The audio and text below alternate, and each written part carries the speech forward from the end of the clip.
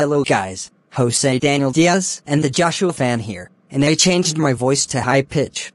I just don't like the low pitch, it's very annoying and making no sense. And I'm sorry about this cable connection, it might be slow. Anyways, this is my voice of high pitch.